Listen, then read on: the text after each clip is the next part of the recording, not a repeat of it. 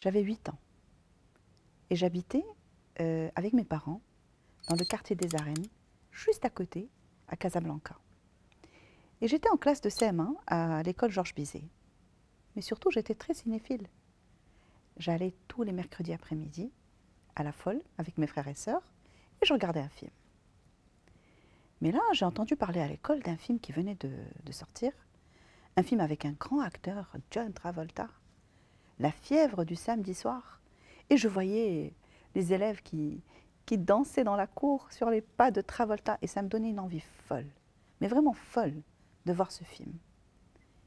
Et je me disais, mais comment je vais faire pour le voir? Sachant que ce film ne, ne passait pas à la FOL, il passait uniquement dans les cinémas de Casablanca. Et là, j'ai eu une petite idée. Je suis partie voir ma cousine, qui était également une voisine, et je lui dit, écoute, on va aller toutes les deux, à pied, toutes seules. Tu sais, on va aller au Mahalif, et on va aller dans un, un des trois cinémas, il paraît qu'il y a le film qui se... La fièvre du samedi soir qui passe là-bas. Et ma cousine, euh, morte de peur, me dit, ah non, non, non, non, pas question. et pour te dire, l'envie était tellement forte que je me suis dit, c'est pas grave, je vais y aller. Et là, je suis partie toute seule. C'était environ 2 kilomètres des arènes jusqu'à la rue du Jura. Et là, je rentre au cinéma Monte Carlo. C'était un cinéma qui était euh, de moyen standing, je dirais un peu mal famé. Et malgré ça, rien ne m'a troublé, rien ne m'a arrêté.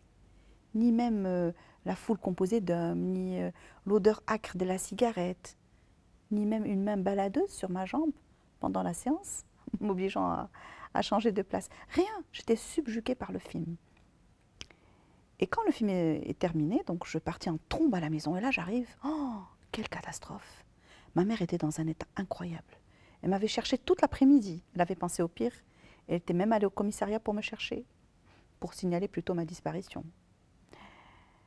Et là, crois-moi, je reçus la plus grande bastonnade de ma vie. Oh, J'ai eu mal, hein. Mais j'étais heureuse.